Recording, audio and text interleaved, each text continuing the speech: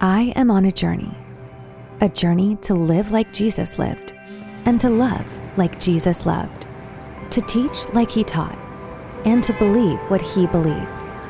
Every day, with every breath that I take, I strive to be more like he was a man who cared for the lost, who healed the sick, who forgave those who wronged him. I am not perfect, but Jesus is. And as a follower of Jesus, my desire is to represent him in the best way that I can in my home, in my workplace, and in my city. He was, so I am, a servant. He was, so I am, a source of healing. He was, so I am, forgiving.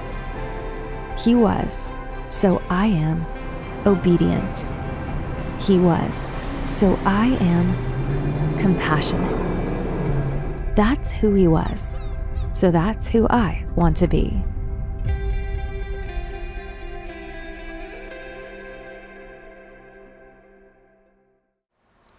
It was the final exam for a college course, and the exam counted as 75% of the grade. It was five minutes before the time was up, and the professor gave a very strict warning. He said, There are five minutes left.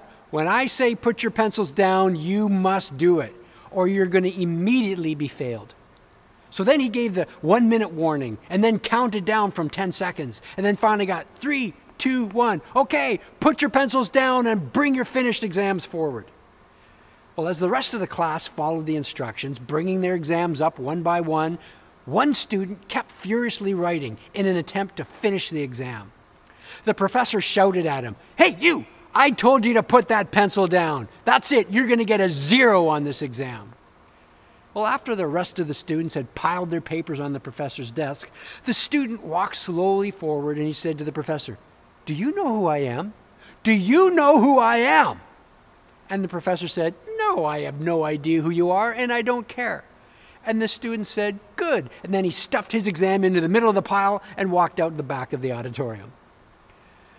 When Jesus walked the earth, he had many moments like that, I'm sure.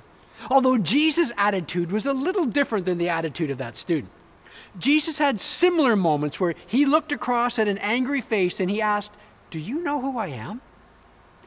One day, because Jesus had healed a man on the Sabbath, the Jewish leaders were furious with him. He made them even angrier when he called God his own Father, making himself equal with God. Well, in response to their anger, Jesus laid down a truth about himself, a truth that we're going to get digging into for a few moments today, a truth about Jesus that we're going to actually apply to ourselves as his followers. Now, the Gospel of John tells us that in response to their anger over his claims, Jesus gave them this answer. He said, Very truly I tell you, the Son can do nothing by himself. He can only do what he sees his Father doing, because whatever the Father does, the Son also does. Now, I encourage you in your Bible or if you have an outline to underline the words only do in that verse. Only do. Have you done that? Okay. Let's skip a little further to the eighth chapter in John's Gospel to another debate with another gang of angry people, angry over the claims Jesus was making about himself. Now, John records that Jesus looked at them and said, The one who sent me is with me. He has not left me alone, for I always do what pleases him. Again, I want you to underline a phrase in that verse. This time, underline the words always do. Now, there you go two declarations from the lips of Jesus, two statements about the quality of his life. According to Jesus himself, he only did and always did the will of the Father. Simply stated, Jesus was obedient. We claim to be his followers, so what does it mean to be a follower of Jesus? To follow Jesus means to believe what Jesus believed, to teach what Jesus taught, to love like Jesus loved, and to live like Jesus lived. Well, we just learned that Jesus was obedient. Well, if Jesus was obedient, that means that I am to be obedient as well. So, okay, what does that look like? The most common word in the New Testament translated obey or obedience is the ancient Greek word hupakuo. Everybody say hupakuo. It's a combination of two Greek words joined together to form one Greek word. Hupo, which means under, it's where we get our word hypodermic, like a hypodermic needle goes under the skin. And then the word akuo, which means to listen to. It's where we get our word acoustic. Hupakuo. It literally means to listen under. So it means to submit or to obey. Now, the problem that many of us have with obedience is we have a bit of a warped view when it comes to this word. We tend to think of obedience as doing something that we're forced to do. Or we think of obedience as being forced to act against our will. It's something that we do because we're afraid we're going to be punished if we don't do it. It's the classic gun to your head scenario. In other words, if you can think, a robber comes and they ha- have a gun and they'll put it to your back or put it to your head, and you're not going to give them all your money unless they force you to with a gun to your back or your head. You're not going to give up your car unless they force you to with a gun to your back or a gun to your head. That's a form of obedience. That is a version of obedience, but that's not the biblical version of obedience. That is not the kind of obedience that Jesus experienced. So neither should it be the kind of obedience that his followers should experience either. This gun to your head kind of obedience is not biblical obedience. Biblical obedience isn't a gun to your head, it's more a history of your heart. Now, you say, what is history of your heart kind of obedience? What does that even mean? Well, history of your heart obedience is joyful and willing obedience. It's the result of what you have experienced in your past. It's obedience that's born out of historically positive interactions. Think in these terms. You have a financial advisor. She has been your financial advisor for 30 years. Now, for all of those years, she has wisely stewarded your resources to the point where you are in solid financial shape as your retirement draws near. She phones you on Monday and she recommends that you sell a certain stock and shift a certain portfolio around. So, how do you respond? I imagine that most would obey. Okay, but with which kind of obedience would you obey? Would it be with the gun to your head kind of obedience, or would it be with the history of your heart kind of obedience? I imagine it would be the second kind of obedience, the obedience born out of a history of positive interactions. That's the kind of obedience that Jesus experienced with his Father. And that's the kind of obedience that his followers are called to experience as well. Now, this dynamic is subtly displayed in how this Greek word for obey is used in the book of Acts. In Acts chapter 12, verse 13, we read the following It says, it's actually quite an unremarkable verse, actually. It says, Peter knocked at the outer entrance, and a servant named Rhoda came to answer the door. Peter knocked at the outer entrance, and a servant named Rhoda came to answer the door. In that verse, you actually find the word hupakuo, the Greek word for obey. You say, where is the word obey in that sentence? He goes to the door, and she, you know, Peter knocks at the door, and the woman goes to answer it. Where's hupakuo? Where's obey in there? It's hidden behind the word answer. The word translated answer in that verse is the Greek word for obey. You say, well, what's the connection between answer and obey? This verse gives us the fuller sense of what that word means. Hupakuo is what a faithful servant does when they trust a voice. They answer it, they obey it. Now, this distinction between gun to your head obedience and history of your heart obedience is crucial for us to understand. So that's why it's going to stand as our big idea today. Biblical obedience is not fear based, it's, it's a biblical obedience is, is love and trust based. In fact, here's the big idea obedience is what happens when love meets trust. Obedience is what happens when love meets trust. When love meets trust, obedience is produced. When love meets trust, obedience flows naturally. It's what Jesus did, and it's what every follower of Jesus is called to do. He was, so I am, obedient. An obedience that is produced when love meets trust. Okay, so now that we've laid some important groundwork, let's actually build upon that. And I first want to build upon it by dismantling another false concept when it comes to obedience. And that's this obedience is not how we access God's presence. Many, many years ago, I dealt with a family that was riddled with dysfunction. The dysfunction was really rooted in a father who played his children off against one another. Whichever child treated him best on any given day was shown affection that day.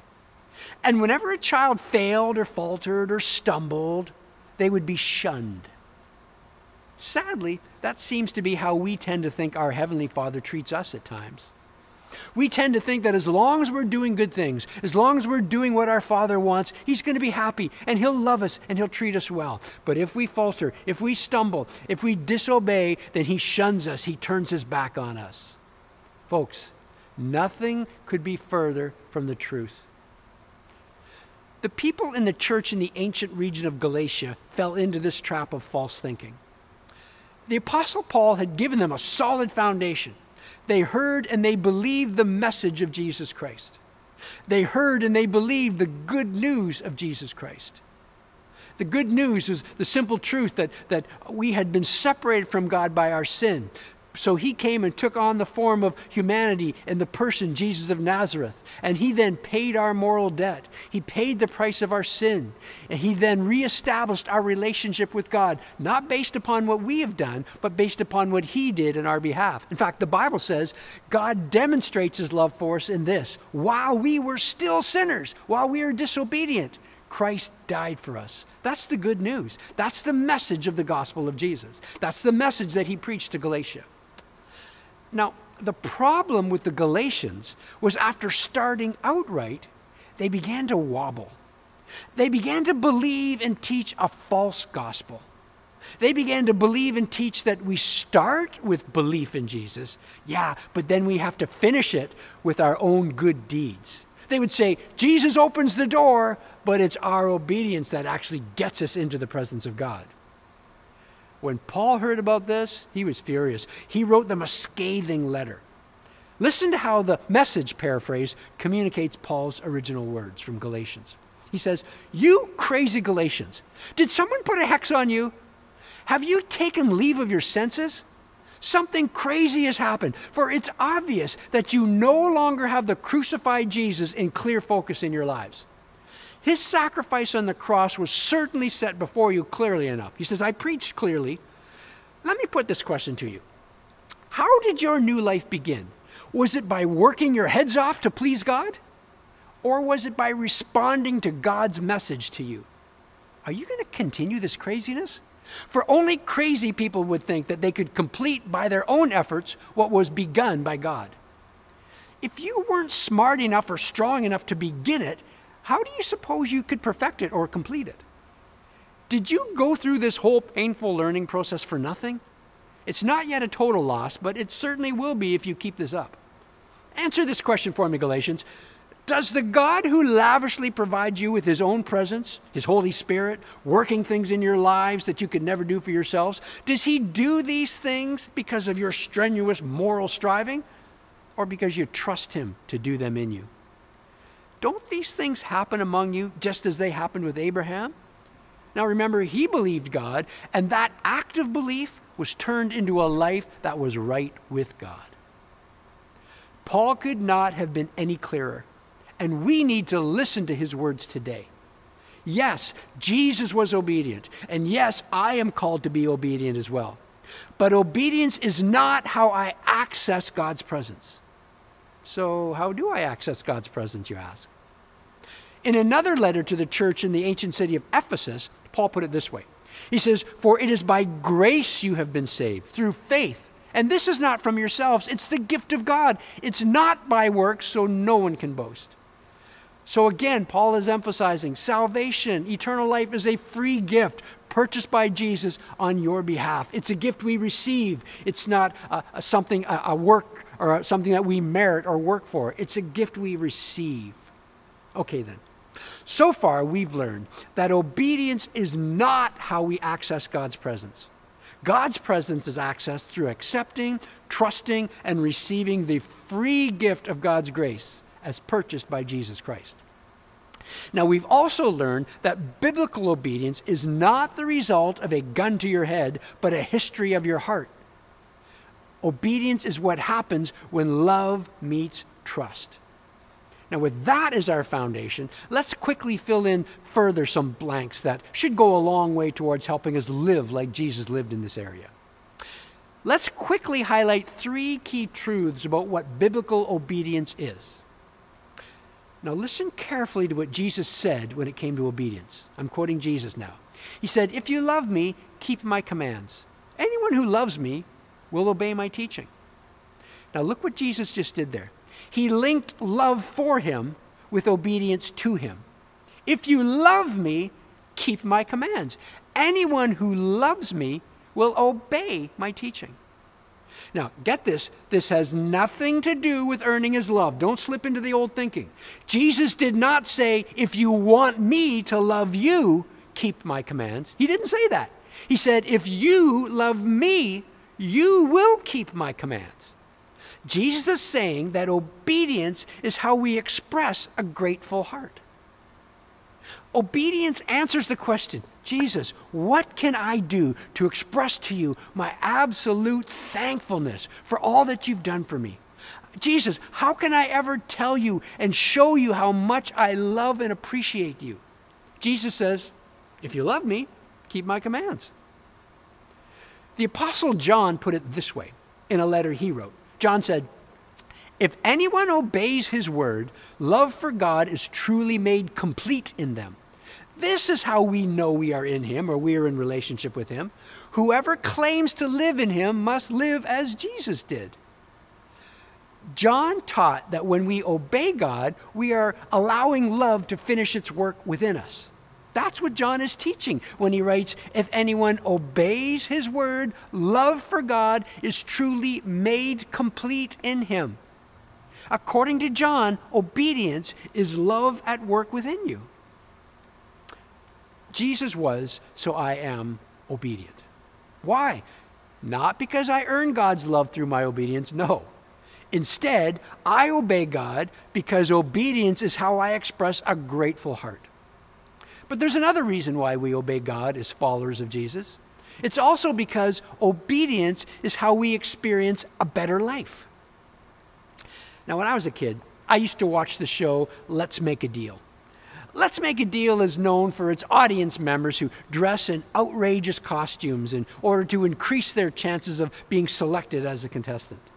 Members of the audience are selected, and then they're given the opportunity to make a deal with the host. So, what will happen is the contestant will uh, have something of value placed in their hands, and then they're given a choice.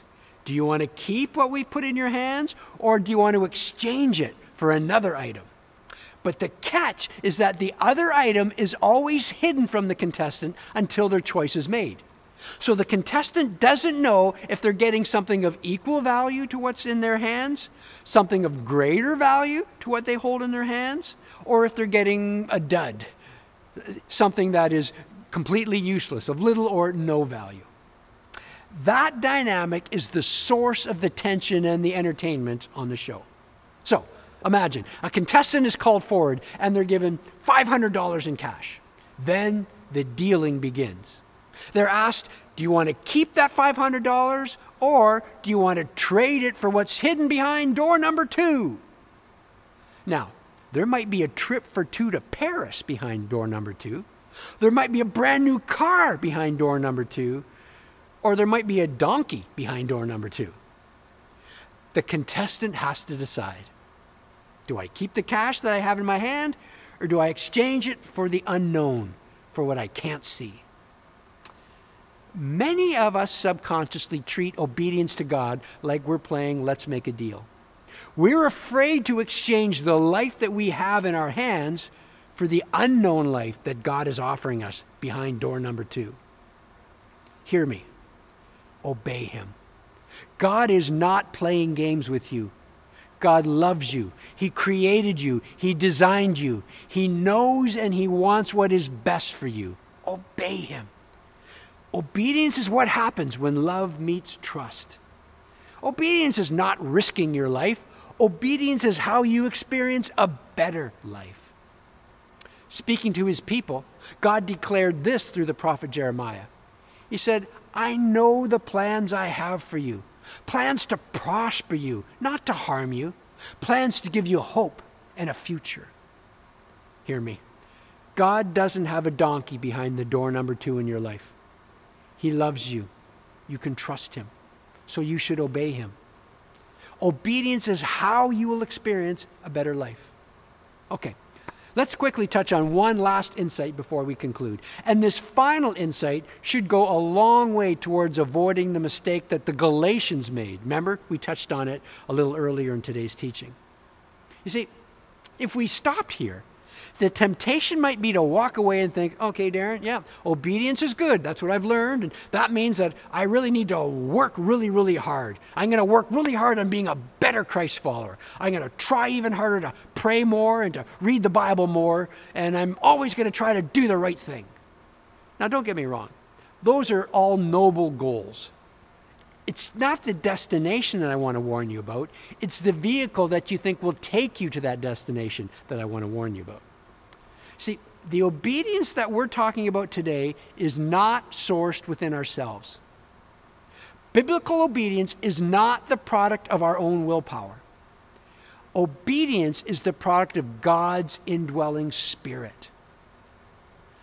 Listen to what the Apostle Paul declared. He said this For it is God who works in you to will and to act in order to fulfill his good purpose. That's Philippians 2:13.